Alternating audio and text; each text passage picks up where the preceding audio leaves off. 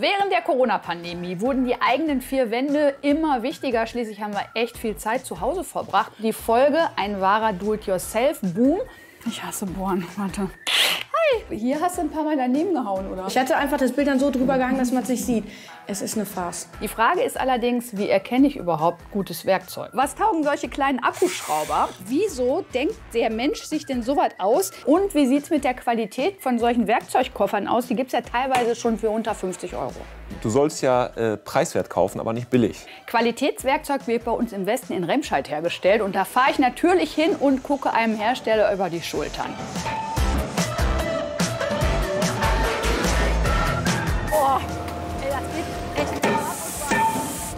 Außerdem gibt es ganz viele Tipps und Tricks für die heimischen kleinen Baustellen. Jetzt heißt es aber nicht reden, machen. Herzlich willkommen zum Haushaltscheck. Der Haushaltscheck mit Yvonne Willigs. Keine Schraube locker. Gutes Werkzeug für kleine Baustellen. 2020 konnten die Baumärkte ihre Umsätze auf rekordverdächtige 22 Milliarden Euro steigern. Mittlerweile pendeln sie sich wieder auf Normalniveau ein. Die Baustellen jedenfalls scheinen den Deutschen nicht auszugehen. Regale für die Küche. Ich werkle auch schon mal zu Hause, so ist es nicht. Ich bin so im elektrotechnischen Bereich äh, aktiv, ne? Installation und so was. Ja, tapezieren und streichen und so was, alles das geht. Der, das Dach von der Laube mit Holz und Trapezblech eben drauf gemacht. Ja, braucht man eben auch Werkzeug. Und das gibt's in verschiedenen Preisklassen. Im Internet, im Baumarkt oder auch als Aktionsware beim Discounter. Aber wie finden ambitionierte Heimwerker oder Einsteiger den passenden Werkzeugkoffer? Koffertest. Wie viel muss ein Werkzeugkoffer kosten? Das wollen wir wissen und lassen drei Koffer gegeneinander antreten. Das Werkzeugset für den Haushalt von Amazon Basics mit 51 Teilen. Für den Koffer haben wir etwas über 43 Euro bezahlt. Der Parkside Werkzeugkoffer ist ein Angebot von Lidl. Hier gibt's 95 Teile für knapp 55 Euro. Mit dem Proxon PKW und Universal Werkzeugkoffer bekommt man am wenigsten Teile, zahlt aber am meisten. Für 47 Werkzeuge haben wir im Angebot gut 150 Euro bezahlt. Gemeinsam mit Redakteur Maurice schaue ich mir die verschiedenen Koffer erstmal an. Wie entsteht der Preisunterschied?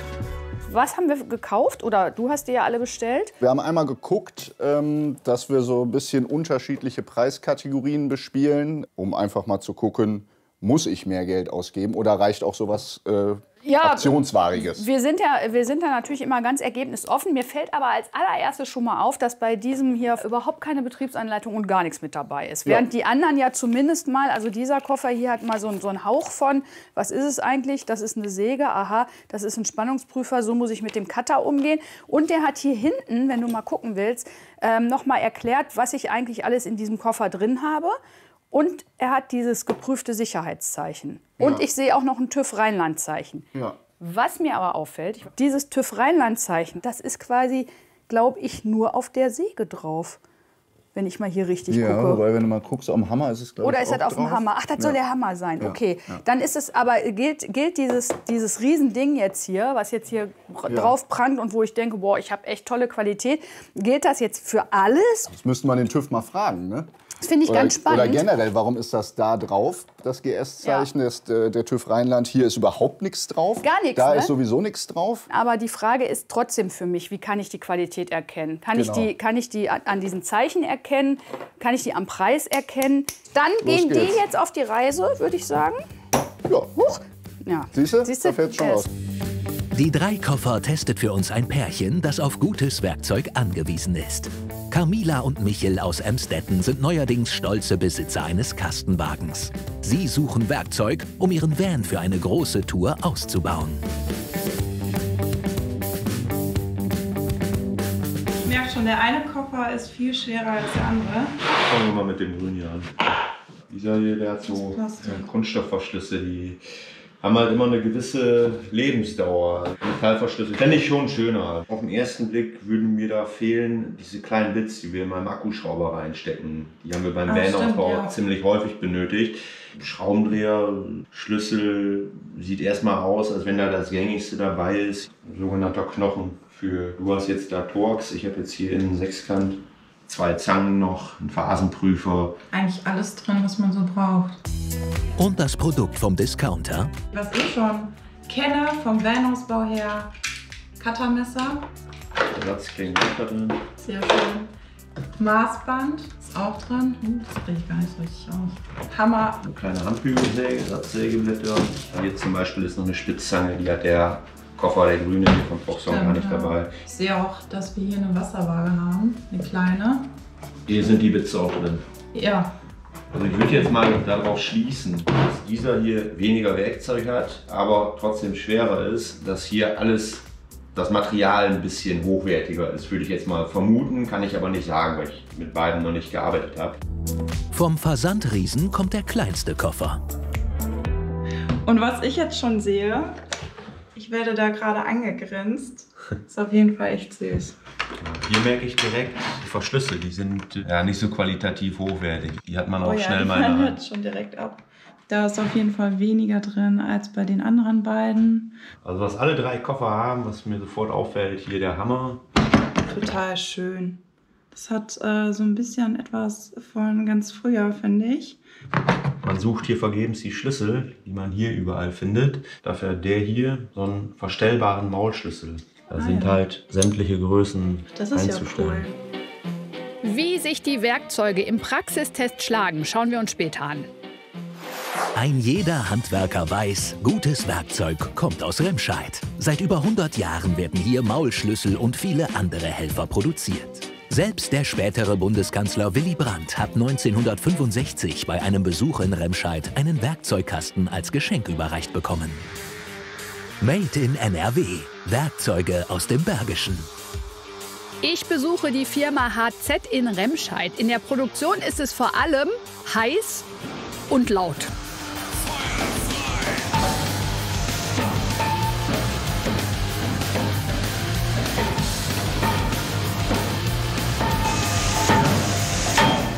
Erfahre ich, wie aus einem Stück Stahl ein Schraubenschlüssel entsteht. Jetzt das Rohmaterial, natürlich sechs Meter lang. Und da wird dann Stück für Stück immer abgeschnitten.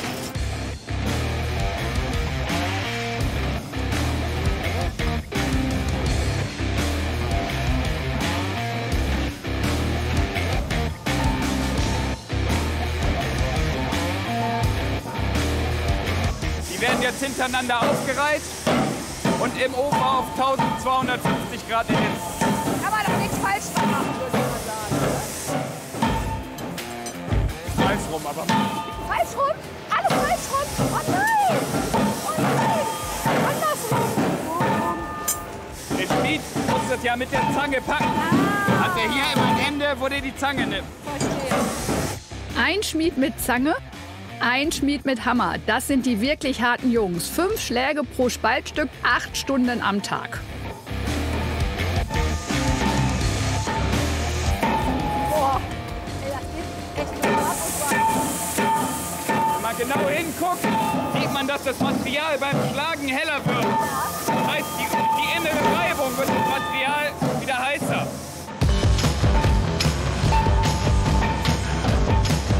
doch richtig hot, hot, hot. Ja, der- die glühen ja auch noch. Genau, die kühlen jetzt erstmal ein bisschen ab und fallen dann hier rein. Wenn die die sofort da reinschmeißen würden, würden die sich wieder verformen, weil die noch zu weich sind. Jetzt muss natürlich noch das überstehende Material weggestanzt werden.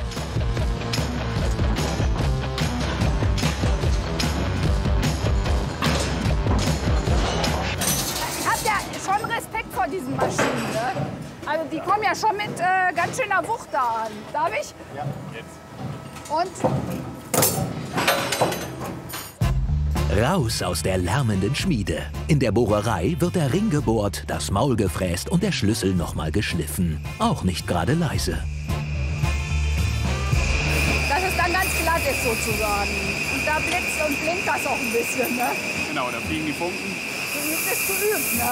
Genau, und er hat ja auch 4200 Stück. An einem Tag aber nicht. Nein, an einem Tag. Kommen noch die Rillen in den Ringschlüssel, der im Anschluss im Ofen gehärtet wird.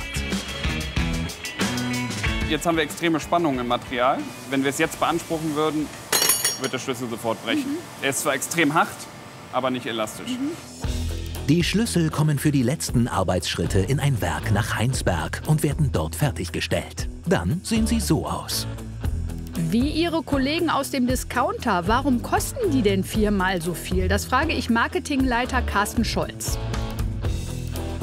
Das ist jetzt ein typisches Discounter-Produkt. Der kostet ja nur einen Bruchteil von dem, was Sie anbieten. Warum soll ich denn so viel mehr Geld ausgeben? Das hängt ein Stück weit natürlich an der Anwendung.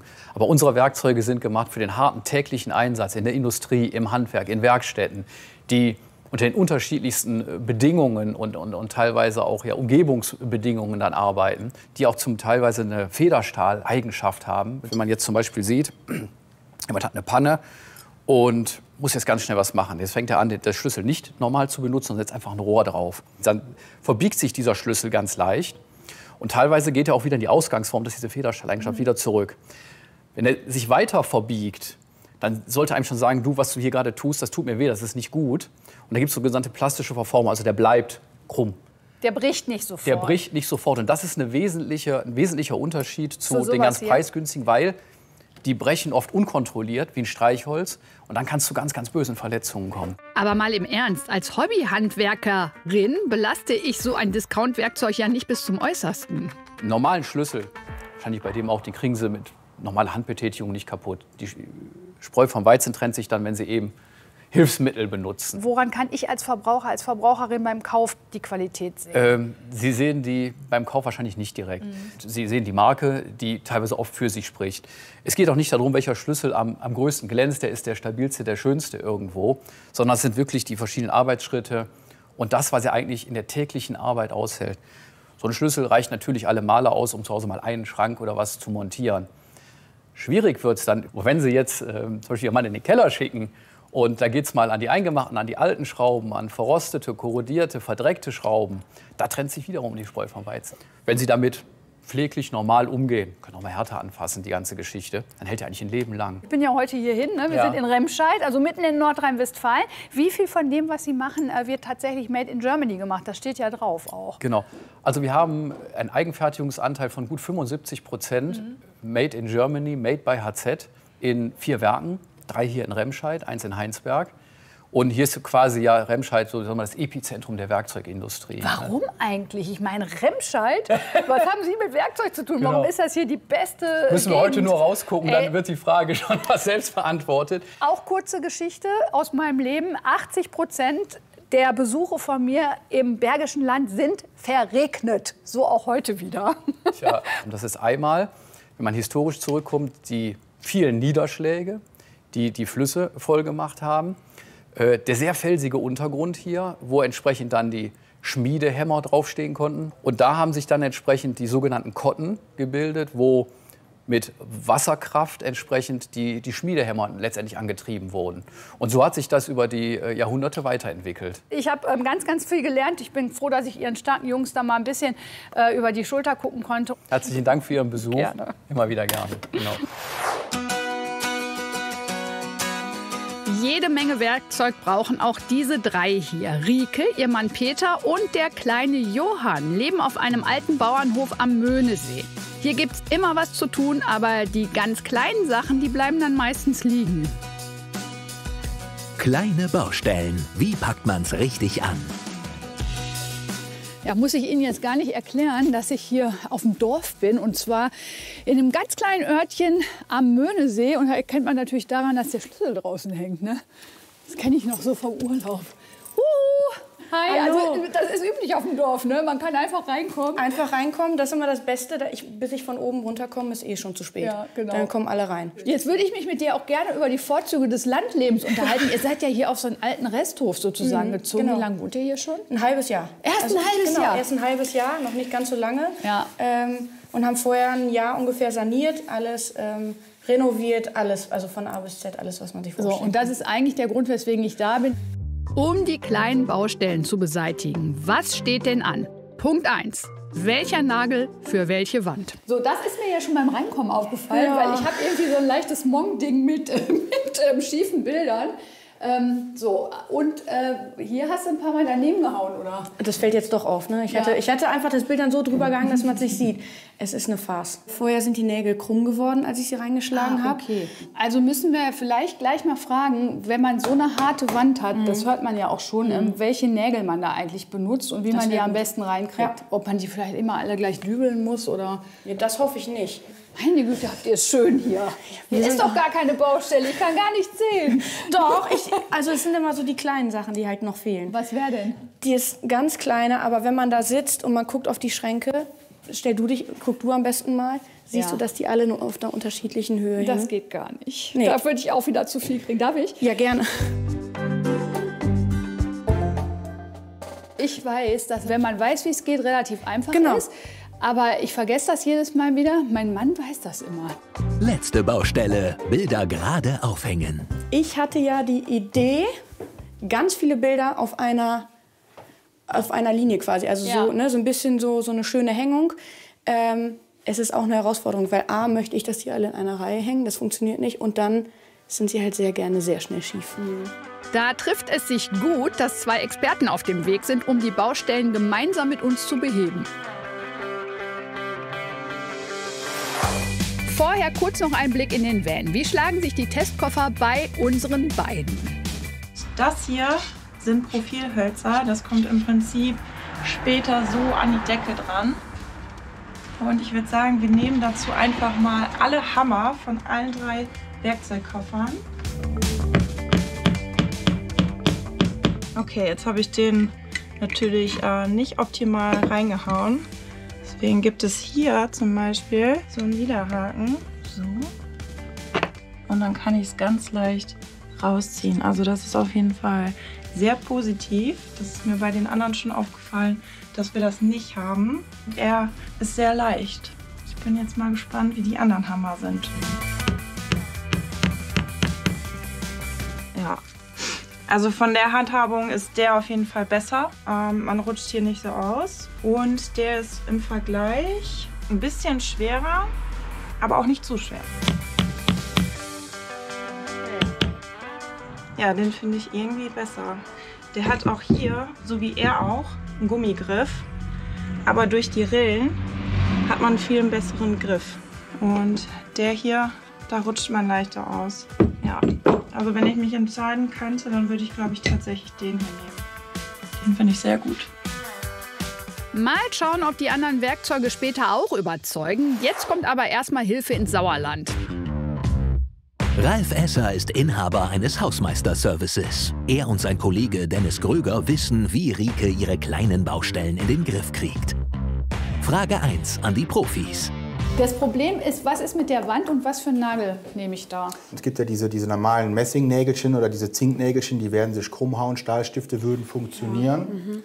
Oder natürlich Schrauben. Ne? Das wäre natürlich Nee. das. Wir wollen nicht dübeln. Nee, ach so, dann. Bei manchen Wänden ist auch keine Chance dem Nagel. Ne? Ist es so? Wie muss die Wand beschaffen sein, damit ich überhaupt guten Nagel reinkriege? Also was natürlich immer geht, ist natürlich Putz. Putz ist weich, Betonsteine sind weich, Rehgips ist weich, Holz ist weich. Und alles, was dann kommt, wie Beton oder Kalksandstein oder Naturbruchstein, da werden Sie keinen Nagel reinkriegen. Da Also- wird der Nagel krumm. Okay. Und was für einen Nagel nimmt man? Also ich würde immer einen Stahlstift empfehlen. Der ist halt eben sehr ähm, fest, sehr stabil und der kann halt eben einiges ab und wird schon nicht beim Ansetzen krumm. Merke, je härter die Wand, desto härter der Nagel. Mit einem Stahlstift aus dem Baumarkt macht man als Heimwerker nichts verkehrt. Was tun gegen schiefe Schranktüren? Vielleicht mal so als allererstes, welches Werkzeug benutze ich dafür? Einen ganz normalen Schraubendreher. Kein Akkuschrauber? Nein. Also äh, sowas gibt man lieber wirklich mit einem Schraubendreher an, weil ihr da wirklich ein besseres Handgefühl habt. Ja. Weil Schrauben, also so, so, so ein Akkuschrauber ist halt einfach Ich denke, elektronisch drücken und irgendwann bricht die Schraube ab und dann ist das schon nie kaputt. Und, und was muss ich dabei beachten, damit es auch bündig ist am Also Ende? erstmal ist, äh, kannst du beachten, wenn ich den geschlossenen Zustand von allem habe, sehe ich ja, wohin fallen meine Türen ab. Also wenn die Tür wie jetzt zum Beispiel rechts runterfällt, muss ich das untere Scharnier rausholen und das obere Scharnier reinschrauben. Mhm. Dass ich es quasi insgesamt einmal drehe. Mit, und mit welcher Schraube hole ich die nach vorne raus? Nach vorne raus hole ich sie mit der hinteren. ist ja logisch. Schraube. Ich hätte natürlich gedacht, mit der Natürlich. vorderen Ja, Schraube. Hä? ist ja logisch, dass ich das mit der Ja, hinteren weil ich ja das muss. Scharnier rausholen möchte. Also ich so habe ich einen längeren Weg. Ah, okay, das macht Sinn. Ja, Du musst sagen, hinten nach vorne und, und vorne zur Seite. Links, rechts, genau. Ja. genau. Also nochmal zusammengefasst. Hängt die Tür links oder rechts runter, muss an der vorderen Schraube gedreht werden. Sie hebt und senkt die Tür. Mit der hinteren Schraube wird die Flächenbündigkeit der Tür eingestellt. Bedeutet, soll die Tür weiter in den Schrank rein, sind die Türen bündiger, wenn die Schraube weiter heraussteht. Jetzt müssen nur noch die Bilder gerade aufgehangen werden. Wie kriege ich, wenn ich eine Petersburger Hängung, so heißt das ja, diese Gestaltungsmöglichkeit, wie kriege ich die bündig hin? Äh, Liegt das daran, wie tief ich den Nagel reingehauen habe, wie ich den positioniere, wie positioniere ich den eigentlich? Genau. Also das kommt, einmal würde ich mir erstmal eine gerade Linie schaffen mit zwei Heftzwecken und einer Schnüre. Und dann ist es halt eben auch wichtig, die äh, Nägel in einem gewissen Winkel einzuhauen, weil wenn Sie den einen auf 90 Grad reinhauen und den anderen auf 45 Grad, hängen natürlich auch dementsprechend die Bilder nachher schief. Ähm, wenn ich habe jetzt keine Schnur und habe Ja. auch keine äh, Heftzwecken, modernere Technik wäre ein Laser. Ne? Genau. Würdest du einmal zeigen, wie es geht? Also wie man den ausrichtet? Solche Linienlaser gibt es im Handel schon für knapp über 30 Euro. Ah, gucken. Der pendelt sich selber aus, der ist freihängend. Okay. Das heißt also, egal ob der Fußboden jetzt gerade oder schräg ist, der Laser macht immer eine komplett gerade Linie. Und jetzt kann ich den natürlich, wie der Kollege das gerade macht, anpassen. Hier ist die äh, Hängung, hast du so schön gesagt, ist die ja offensichtlich. Hier kriege ich das Mhm. gut hin. Hier muss ich noch den Rahmen mitmessen. Wie mache ich das jetzt? Also ich würde das ganz einfach so messen, wenn ich ihn auf dieselbe Linie messen würde, würde ich das einfach mit einem Lineal oder mit einem Zollstock, Mhm. würde ich mir einfach die Oberkante des Bildes bis Oberkante Nagel, das wäre jetzt hier genau ein Zentimeter, und den entsprechend von dem Laser abziehen, abziehen. oder aufreiben, ich das rauf oder runterhängen möchte. Aber einmal Staub wischen und die Bilder hängen wieder schief. Auch hier hat der Profi einen Tipp. Was man machen kann, ist einfach so ein bisschen Tesafilm in der Schlaufe dahinter rollen und die an die Wand drücken, dann bleiben die hängen und bleiben aber auch gerade. Einmal gerade laut Auge Ich aufhängt häng's mal auf, genau. und dann einmal unten so ein bisschen dran drückt. So, dann ist es genau, halt dass es so ein halt bisschen fixiert ist gegen Ja. so einen Luftzug. Natürlich will ich mit meinem Nagel keine Leitung treffen. Hier gibt es eine Faustregel. Profi-Tipp ist immer so, dass äh, Leitungen, egal ob Wasser oder Strom, immer senkrecht oder waagerecht verlaufen. Das verlegt man eigentlich bei der Installation auch so. Das heißt also immer gerade zur Decke, gerade zum Boden oder waagerecht sollte man dementsprechend ein bisschen höher oder tiefer gehen. Oder das mit so einem Detektor, mit so einem Bohrlochmesser, wenn man das hat, eben mal gucken, ob da irgendwelche Leitungen im Weg sind. Einen solchen Detektor gibt es auch schon für knapp 20 Euro im Baumarkt. Weil ich mich ja quasi schockverliebt habe und ich heute ganz am Anfang des Tages gehört habe, ach, man könnte auch mal ein kleines Praktikum machen. Wie nagel ich denn äh, richtig in Wände? Und äh, wir müssen auch noch mal dübeln und bohren. Ähm, Würde ich gerne noch mal zu euch kommen. Na klar. Kann ich? Klar. Wir können auch jede Woche einen anderen Workshop machen. Bevor es aber zu Ralf in die Werkstatt geht, schauen wir nach Emstetten in den Van. Wie gut sind die Schraubendreher aus den Testkoffern? Das Tolle ist ja auch, man kann sich im Prinzip das hier raussuchen und dann da oben drauf stecken. Ja, schön ist, dass es hier mit so einem Magnetverschluss ist. Heißt, die Bits fallen nicht direkt raus. Okay. Ich fange mal direkt mit dem hier an. Da liegt auf jeden Fall gut in der Hand, lässt sich gut mitarbeiten. Die Schraube ist drin. Sehr gut. Jetzt nehmen wir den von Parkside. Liegt nicht ganz so gut in der Hand. Hier hat man einfach ein bisschen mehr Grip.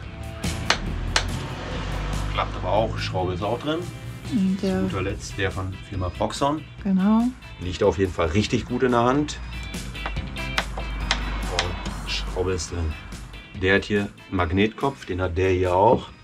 Das heißt, wenn man Schrauben hat aus Stahl, die fallen nicht sofort runter. Also dein. Fazit ist, Ja, ist auch wieder der von Firma Proxon. okay, das ist unser Gewinner. Ja, auf jeden Fall. Proxon punktet erneut. Amazon spart durch einen Bithalter enorm viel Platz im Koffer. Auch andere Hersteller setzen auf dieses Werkzeug als vollwertigen Schraubendreherersatz. Zurück zu Heimwerker-Profi Ralf. Er veranstaltet mit mir in seiner Kölner Werkstatt einen kleinen Workshop. Alles unter der Überschrift Hämmern, Bohren und Dübeln. Jetzt würde ich gerne von dir mal wissen, wie ich einen Nagel vernünftig in die Wand kriege. Okay, also wichtig wäre natürlich, den Hammer immer unten am Stiel zu fassen, Mhm, weil, sonst, vor. weil sonst nimmst du dem die Vibration. Das heißt, wenn du den hier oben nimmst, klemmst du dem quasi die Vibration ein und wenn du es unten packst, hast du einfach ein bisschen mehr Gefühl und der schwingt, das heißt, der ähm, arbeitet Der Hammer macht die Arbeit selber. Und wichtig ist halt eben mehrere kleine leichte Schläge, als wenn du versuchst, den mit drei Schlägen zu versenken. Und wie macht ihr das, ähm, damit man sich nicht auf die Finger klopft? Also wir machen es tatsächlich mit einer Zange. Wenn du so ein kleines Nägelchen hast, kannst du dir die quasi so da reinklemmen. Ja. Und dann kannst du das quasi anhalten, wo du möchtest. Möchtest du das ja mal, ja. mal versuchen? Und dann einfach anhalten. Ja, und du hältst das da an und wenn du jetzt quasi daneben hauen würdest, würdest du im Prinzip nur auf die Zange hauen und nicht auf die Finger. Und jetzt kann ich die aber auch schon Das wieder kannst genau. Und dann hast du das quasi sitzen. Zange ist gut, aber was haben Frauen nämlich nicht in ihrer Handtasche oder in ihrer Hosentasche, aber meistens dabei ist ein Kamm oder eine Haarnadel. Und ähm, das kann man damit nämlich auch machen. Du kannst jetzt hier den, kannst jetzt hier den dazwischen klemmen und dann hast du das gleiche Prinzip, kannst es jetzt abnehmen und guck mal, ich halte den schon wieder falsch. Ich habe das gesehen, aber Hast ich wollte nichts sagen. Warum hast du nichts gesagt? Ja, ich denke, mach mal. Aber das ist schwieriger, oder? ja, das ist viel schwieriger, Ja. ist total bescheuert. Nimm den mal unten, versuch's nochmal, dann siehst du, wie der Nagel von selber da drin in der Wand verschwindet. Ja. Also, kleine Schläge und den Hammer unten anfassen, damit er schwingen kann. Nägel mit Hilfsmitteln fixieren, dann gibt's auch keine blauen Daumen. Vorhin bei Rike wollten wir es nicht. Manchmal geht es aber nicht ohne Bohren und Dübeln. Gib mir mal die allerwichtigsten Tipps und Tricks zum Bohren. Also das Wichtigste ist natürlich, dass da nichts im Weg ist an Strom- oder Wasserleitung. Mhm. Das nächste ist, um zu gucken, was möchte ich aufhängen. Also wie lang ist die Schraube, wie lang ist der Dübel. Und dass ich mir quasi die Schraube mit dem Dübel, die Länge quasi schon so ein bisschen anhalte, dass ich dann weiß halt eben, wie tief ich bohren muss, Mhm. damit ich nicht beim Nachbarn rauskomme. Und ähm, du hast hier bei diesem Gerät hier so einen Abstandshalter dran. Einfach hier draufdrücken, den Abstandshalter so lange rausziehen, im Prinzip wie mein Dübel ist. Und dann habe ich da halt eben einen Anschlag, wo es nicht weiter in die Wand geht. Genau, und der kleine Lifehack, sage ich jetzt mal, wie man das macht, wenn man nicht so ein Gerät hat, was äh, dieses Ding hat. Ich halte den Dübel ran, Genau. so, und mache dann hier, so lang wie der Dübel ist, ein, Genau, ein Klebeband. ein Klebeband und bohr dann quasi bis hier oben. Genau, bis zur Kante. Ich oder du? Na du, ne? Ich kann das ja schon. Ich hasse Bohren. Warte. Das macht doch immer dieses komische Mhm. Geräusch. Also ich stelle mich jetzt gerade hier hin und ma- mach jetzt was. So. Wichtig ist, die Bohrmaschine alleine laufen lassen und nicht drücken. Das heißt also Okay. einfach anlaufen lassen und die Bohrmaschine macht die Arbeit von alleine.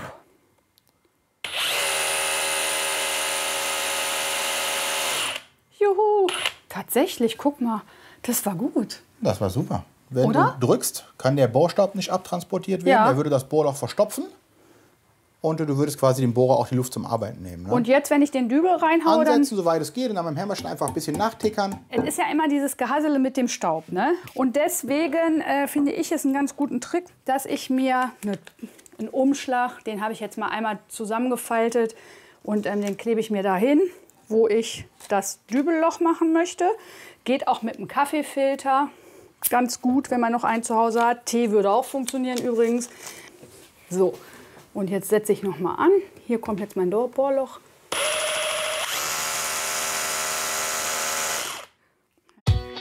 Tipps zum Bohren. Als improvisierter Abstandshalter reicht auch Klebeband auf dem Bohrer.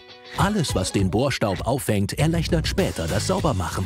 Und wichtig, nicht drücken, sonst kann die Maschine nicht richtig arbeiten. Danke, dass du den Spaß mitgebracht Gerne. hast.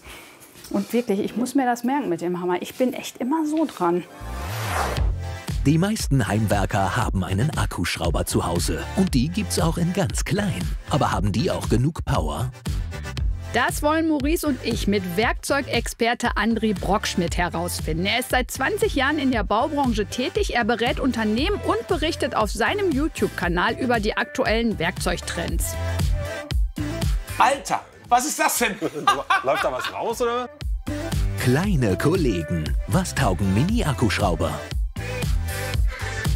Es treten an der Bosch XO6. Die Redaktion hat ihn im Angebot für knapp 50 Euro gekauft. Der futuristisch aussehende Mijia-Schraubendreher von Xiaomi für 45 Euro. Und der Parkside PAS 4D5 von Lidl für ca. 30 Euro. Wir wollen jetzt rausfinden, was können die Dinger. Und äh, bitteschön, wir wechseln gleich ab. Jeder drei Schrauben. Und ähm, ich würde mal sagen, auf die Plätze fertig, los. Jeder dreht also mit jedem Schrauber drei Schrauben, die knapp drei Zentimeter lang sind, in Fichtenholz. Ich habe schon ein bisschen zu kämpfen. Also hier mit dem muss ich viel mehr Kraft aufwenden als mit dem. Kräftemäßig ist hier schon Ende der Fahnenstange. Ne? Also das sind natürlich jetzt, sag ich mal, relativ kompakte Burschen. Die sind jetzt nur für mal eben schnell was zu machen, was man auch in der Küchenschublade liegen haben könnte. Ja, genau. So klassischerweise hier so ein äh, bekanntes äh, schwedisches Möbelhaus, so einen Ja. Schrank aufbauen. Dafür passt das. Ne? Das Gerät hat ja noch ein paar andere Zusatzfunktionen. Also da kannst du ja, guck mal, da kannst du ja noch eine kleine Stichsäge oder Kreissäge oder irgendwas draus machen. Ja, Kreissäge wäre jetzt ein bisschen übertrieben, aber du hast hier so eine, so eine Schere Ja, quasi, ja. wo du, was weiß ich, Stoffe, Leder oder sowas schneiden kannst. Dann hast du hier noch einen Aufsatz, wo du das Drehmoment einstellen kannst. Mhm. Also quasi, wie tief soll die Schraube reingehen und dann hört er irgendwann auf. Und das ist noch ein Exzenter-Aufsatz. Beispielsweise, du bist irgendwo in der Schublade und hast so eine Schraube in der Ecke, um da dran zu kommen. Und das ist einfach hier, du kannst tatsächlich um die Ecke schrauben mit einem äh, Winkelaufsatz. Ist das sinnvoll oder machen die das nur, um den Koffer voll zu machen? Nein, nein, nein, das kann tatsächlich sinnvoll sein. Okay. Punkt für den Koffer vom Discounter. Aber bringen die Minischrauber auch wirklich Leistung? Mit den kleinen Schrauben hatten die ja schon so ihre Probleme. Wir müssen ja mal gucken, das waren jetzt 35er Schrauben. Mhm. So, und da merkst du schon, okay, der versenkt die noch, teilweise hat er sich schwer getan. Wenn du jetzt aber mal ein Regal irgendwie in die Wand dübeln möchtest, dann bist du natürlich schnell auch mal hier so bei einer 60er Schraube. Und äh, ja, da würde ich gucken, können wir mal, da ich, können wir mal sehen, was Ja, dann passiert. So, eine ist drin, der blinkt So. rot. Jetzt schon? Das ist einfach eine Schutzschaltung. Da sagt er, okay, bitte nicht mehr. Dieser hat auch abgeschaltet. Ich habe die Schraube nicht versenken können. Und damit brauche ich im Prinzip jetzt auch nicht weitermachen. Ah, Hat er auch abgeschaltet, vorbei. ne? Ja, Ja. vorbei. Ja. War, weil, So. weil der dann zu heiß wird oder warum hört Nein, er der hat auf? einfach die Leistung nicht. Ja, guck mal, ist ja echt witzig. Die geht nicht bündig rein. Nee. Wofür brauche ich denn so ein Teil? Nur weil das irgendwie hübsch aussieht? Wieso denkt der Mensch sich denn so weit aus, wenn ich da keine Schraube bündig mit versenken kann? Pass auf, du kannst einen Mofa kaufen, du kannst ein Motorrad kaufen. Ja. So, warum kaufen Leute Mofas? Oder einen 50er-Roller? Um, weil sie damit eben, sag ich mal, in der Stadt ganz gut unterwegs sind. Okay, und dann zeig mir bitte mal einen Akkuschrauber, der preislich jetzt auch nicht irgendwie in so einem High-Level ist, dass ich, äh, dass ich mir nichts anderes zu Weihnachten wünschen kann. Das Ja. ist jetzt so ein Gerät. Du kriegst so einen Akkuschrauber im Set. Da sind auch Bits dabei, Ladegerät, zwei Akkus. Wenn du mal guckst bei den einschlägigen Versandhäusern im Angebot um die 100 Euro. Mhm. Hier kann ich natürlich schon mit bohren. Ich kann ja, habe ja ein Bohrfutter, wo ich einfach einen Bohrer reinmachen kann. Aber was machst du denn jetzt zum Beispiel? Du bist jetzt hier mit am Werkeln. Mhm. So, jetzt steht der zweite Schrank da. Der Akku leer. Was machst du? Machst du erstmal eine schöne Kaffeepause. Und hier hast du einfach einen Wechselakku dabei. Das heißt, der eine Akku lädt und da machst du so. Klick. Du kannst aber hier auf jeden Fall eigentlich alles mit Schrauben bohren, was im Haushalt vorkommt. Drehmoment ist das Zauberwort. Das beschreibt die Kraft, mit der die Schraube im Holz verschwindet und wird in Newtonmeter gemessen. Laut Hersteller liegt das bei unseren Mini-Akkuschraubern zwischen 4,5 und 10. Die großen Brüder haben bis zu 30 Newtonmeter mehr. Auch diese Geräte gibt es schon für relativ kleines Geld. Jetzt will ich aber auch wissen, ob der große Schrauber unsere Testschraube im Holz versenkt. Ha, wow, alles klar. Okay, damit kann ich dann mir natürlich auch vorstellen, dass ich mir einen riesengroßen äh, Schrank oder sowas aufbaue und dann mal eben wut, wut, Genau. wut. Oder irgendwo ein Brett zusammenschrauben oder eine Terrasse schrauben. Das könntest du damit dann schon machen. Also ist das eher ein Spielzeug und das ist ein Werkzeug? Ich weiß, ich habe jetzt irgendwie so ein Schränkchen oder so und da sind vielleicht sechs kleine Schräubchen. Ja, hast du in der Schublade, machst du eben. Und hier ist Akku kaputt, Gerät kaputt. Ne? Theoretisch ja. Ne? Richtige Freaks schrauben das natürlich auf, wechseln dann die Zelle. Da ist eine Akkuzelle drin, also die laufen auf 3,6 Volt. Hier sind drei von diesen Zellen verbaut. Ähm, deswegen natürlich auch deutlich mehr Kraft.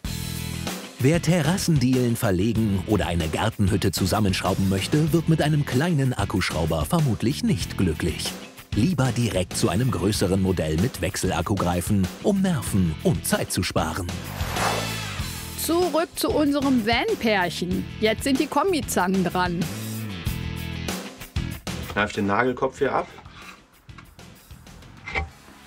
Okay, ist ein bisschen schwierig. Geht aber. Liegt nicht so ganz gut in der Hand. Man sieht das auch hier. Hinterlässt so kleine Druckspuren. Ist nicht ganz so angenehm. Dann nehme ich mir mal die zweite.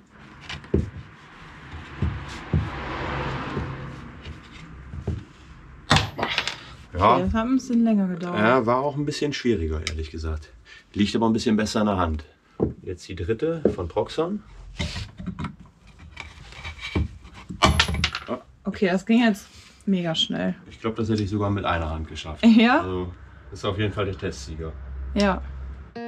Eine Kombizange ist ein Multifunktionswerkzeug. Man kann mit ihr wie mit einem Seitenschneider schneiden. Mit den Backen lassen sich aber auch Schrauben fixieren. Steht denn noch irgendwo, woher das Werkzeug kommt? Habe ich bei der ein oder anderen Zange eben flüchtig gesehen. Also hier steht drin Made in Germany von der Firma Knipex. Ja. In dem Proxon-Koffer auch. Ja, genau, von Proxon der Koffer. Und das gleiche habe ich hier auch gesehen. Das ist mir so ins Auge gefallen hier. Ja. Stahl eingraviert. Steht das bei den anderen auch drauf? Ja. Also da bei Parkside nicht. Und in dem kleinen Koffer kannst du auch nichts erkennen, ne? Wir haben nachgefragt. Von Amazon gab es keine Antwort. Das Werkzeug aus dem Parkside-Koffer kommt aus China. Die Kniepex-Zangen aus dem Proxon-Koffer werden in Wuppertal produziert. Der Rest ist Importware aus Taiwan. Das sagt natürlich erstmal nichts über die Qualität aus. Trotzdem, nur zwei Zangen sind made in Germany. Für welchen Koffer würdest du dich am ehesten entscheiden? Also ich würde mich für diesen Koffer hier der Firma Proxon entscheiden, weil da für mich die Werkzeuge am meisten Qualität haben, weil die am besten in der Hand liegen und ja, fühlen sich einfach am besten an. Auf Platz 2 wäre der von Parkside, der Koffer, weil da ziemlich viel drin ist. Also der ist ziemlich gut ausgestattet. Und ja, an dritter Stelle ist der von Amazon. Da ist ziemlich wenig drin und ähm, das Material würde ich jetzt auch nicht so hochwertig einschätzen können. Also vom Umfang her würde ich von mir aus sagen, auf Platz 1, 2 und 3. Camila favorisiert den Lidl-Koffer. Michel setzt auf Markenqualität. Wie urteilt der Werkzeugexperte? Also wenn ich nur zweimal im Jahr irgendwie ein Kabel äh, durchknipsen möchte, komme ich ja eventuell mit so einem Ding auch klar, oder? Ja, also du sollst ja äh, preiswert kaufen, aber nicht billig. Okay. Und was du jetzt in der Hand hast, ist ein Seitenschneider. Den brauchst du, wenn du mal irgendwo ein, so, ein, so ein Kabel oder so äh, abknipsen willst. Ja. Und das kannst du nämlich hier ganz schön sehen. Jetzt mach mal ganz und jetzt so. Und was passiert? Ja. Also du reißt es Ich eher reiß so, das ne? eher. Ich also der das hat das gerissen. nicht. Ja, hier sind auch stehen jetzt noch so Mhm. einzelne Adern. Und wenn du jetzt mal guckst, du hast hier diese Kanten und wenn ich jetzt zudrücke, dann gehen diese Ah. Klingen eigentlich übereinander. Ah, okay. Hier habe ich jetzt im Prinzip ein Pendant Mhm. von einer guten Marke. Und da ist das hier viel präziser. Und wenn du das jetzt hier mal machst, Das ist jetzt vielleicht auch nicht so die Mega-Überraschung, dass du den gar nicht anpacken willst, hier den Koffer, habe ich den Eindruck, sondern sagst so, nee, das ist mir, das ist mir zu äh, billig. Also das ist nicht preisgünstig, das ist billig und Genau. deswegen auch teuer, zu teuer gekauft.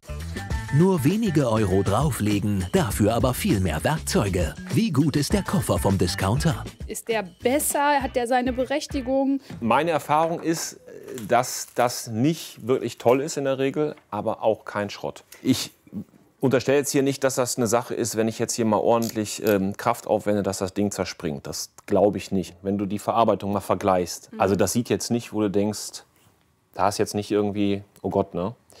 Ähm, ja, und du hast einen Hammer. So. Und Ja. wenn du den zweimal im Jahr gebrauchst, denke ich, äh, wirst du auch nicht unglücklich damit. Außerdem erkenne ich das GS-Zeichen und das TÜV-Zeichen auf dem Hammer. Kompletter Schrott wird es also wirklich nicht sein. Das GS-Zeichen steht für geprüfte Sicherheit. Die Hersteller entschließen sich freiwillig, diese Sicherheit von einem unabhängigen Prüfhaus untersuchen zu lassen. Beim Discounter-Werkzeug hat der TÜV zusätzlich noch den Hammer geprüft. Ja, ich hatte ja ein ganz, ganz nettes Pärchen, die äh, die Koffer für mich ausprobiert haben. Die bauen sich gerade einen Van aus und die äh, kamen hier mit diesem Koffer gut klar. Das deckt sich so ein bisschen mit deiner Einschätzung. Das ist jetzt nicht der komplette Schrott, sondern das kann man auf jeden Fall benutzen, auch wenn man, wenn man ein etwas größeres Projekt vor sich Ja. hat. Kann ja auch durchaus sein, dass jetzt beispielsweise das Pärchen einen Akkuschrauber hatte und dann waren die ganz glücklich, dass hier zumindest schon mal Bits dabei waren. Mhm. Deswegen ist ja immer wichtig, was habe ich für einen Anwendungsfall. Kein Schrott, aber auch nichts, was man seinen Kindern vererbt. Und der teuerste im Test? Ich habe hier Schraubendreher äh, mit drin. Ich habe einen Hammer, wenn ich was in. und Ich habe eine Zange, die ich Mhm. wofür einsetze? So eine Kniepzange? Ja, das ist ähm, eine Wasserpumpenzange Mhm. oder auch der Profi sagt Wapuzange. Ähm, ne, das sind halt für größere Durchmesser, zum Beispiel jetzt, so, wenn du so einen Siphon verstopft hast oder so. Damit könntest du das jetzt hier losdrehen. Viele kennen sie auch als Rohrzange. Wer an Abflüssen und Rohren arbeitet, sollte sie auf jeden Fall im Werkzeugkoffer haben. Wenn ich mal überlege, so eine Zange, made in Germany hier, ähm, eigentlich so mit von einem der Marktführer, äh, kostet 15, 20 Euro. Das macht den Koffer natürlich teurer. Ich frage mich aber, warum auf diesen scheinbaren Qualitätswerkzeugen überhaupt kein Siegel drauf ist. So kann der Kunde ja nur durch die Marke, die Haptik und den Preis vermuten, dass er gutes Werkzeug in der Hand hat. Der TÜV schreibt uns dazu Folgendes. Auch viele Markenhersteller arbeiten wie Handelshäuser und Discounter im Rahmen ihrer Qualitätssicherung mit Prüfhäusern zusammen. Das Prüfzeichen ist in vielen Fällen aber nicht Gegenstand der Prüfungen. Einige Hersteller vertrauen auf die eigene Sicherheitsstrahlkraft ihrer Marke. Aus Verbrauchersicht ist das natürlich, ich sag mal so, etwas unbefriedigend. Nur auf etablierte Marken zu vertrauen ist mir zu wenig. Hier ist definitiv noch Luft nach oben. Fazit des Koffertests. Der Werkzeugkoffer von Amazon ist im Check durchgefallen. Zu günstig produziert, hier wird an der Qualität gespart. Den Parkside-Werkzeugkoffer gibt man zwar nicht an seine Enkel weiter, Hobbyheimwerker kommen aber mit dem Werkzeug für etwas über 50 Euro zurecht. Beim Koffer von Proxon bekommt man teilweise Markenqualität, die mehrere Jahrzehnte halten kann. Das ist nachhaltiger und auf lange Sicht trotz höherem Preis günstiger. Und wer genau weiß, was er braucht, der kann sich seinen Koffer auch selbst zusammenstellen. So, jetzt guck mal hier. Das ist also das, was du jetzt sagen würdest, das braucht man auf jeden Fall. Ein Hammer. Ja, ein Hammer ist immer ganz gut, ob er Das- so groß sein muss. Das sind die, Bi- wie heißt es jetzt? Genau, Ding das ist im Prinzip Der ein Bithalter. Bithalter. Ja. Und hier sind dann, ach, da passen auch diese Nüsse drauf. Oder ist genau, das, das ist im Prinzip ein Set in sich selbst. Ah, und hier ist die Ratsche dann auch noch mit. Äh, Dabei. Genau, du hast eine kleine Mini-Ratsche. Quasi die kleine Werkzeugtasche für unterwegs. Solche Sets gibt's bereits ab 15 Euro. Dann haben wir noch eine Zange, dann haben wir hier einen Maulschlüssel, der ist auch noch verstellbar. Ja, das ist, ist ein Ringschlüssel. Ringschlüssel. Und der hat jetzt, äh, das ist ein Feature, oder das ist äh, sehr smart. Du hast nämlich vier Größen. Mhm. Ja, du kannst also jetzt hier 19, 13, 10, 17, so vier gängige Größen und jeweils als Ratschenfunktion. Praktisch, falls ich mal an ganz engen Stellen arbeiten muss. Da komme ich nämlich mit einer normalen Ratsche nicht hin.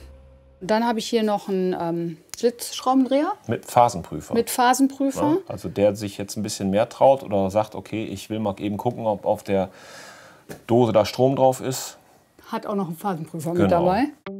Das Standard-Equipment für den Heimwerker. Einen Hammer, Bithalter als Schraubendreherersatz, ein Steckschlüsselsatz, also Ratsche und Nüsse, um Muttern zu lösen.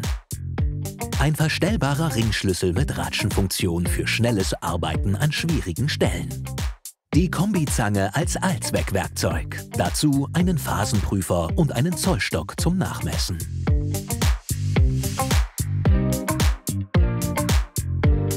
Dazu ein paar Grundregeln zum Werkzeugkauf. Den Bedarf im Auge haben. Es muss nicht immer ein Koffer mit 200 Teilen sein. Werkzeug bei namhaften und bewährten Herstellern oder Handelshäusern kaufen, die im Zweifel einen Ruf zu verlieren haben. Zum GS- und TÜV-Zeichen sollte auch auf das CE-Zeichen geachtet werden. Der Hersteller bestätigt damit, dass ein Produkt den geltenden europäischen Richtlinien entspricht. Alle Aufschriften sollten auch in deutscher Sprache und der Hersteller zweifelsfrei erkennbar sein. Und natürlich auf die eigenen Sinne vertrauen. Gibt es scharfe Ecken und Kanten? Fehlen Teile? Ist das Material brüchig oder spröde? Riecht das Werkzeug seltsam? Falls ja, lieber liegen lassen. Tatsächlich hat ja der Do-it-yourself-Boom absolut seine Berechtigung. Es macht nämlich richtig Spaß, selbst zu Hand- und Heimwerken. Wer jetzt allerdings überlegt, sich ganz individuell seinen eigenen Werkzeugkoffer zusammenzustellen, was ich mega sinnvoll finde, der muss beim Kauf von Werkzeug wirklich darauf achten, dass es gut in seine eigene Hand passt, wie überhaupt die Griffigkeit ist und tatsächlich sind Preis und Marke entscheidend, um herauszufinden, habe ich hier ein Qualitätswerkzeug oder eines, was ich leider nicht mehr an meine Kinder weitervererben kann. In diesem Sinne, fröhliches Handwerken und hauen Sie sich nicht auf die Finger.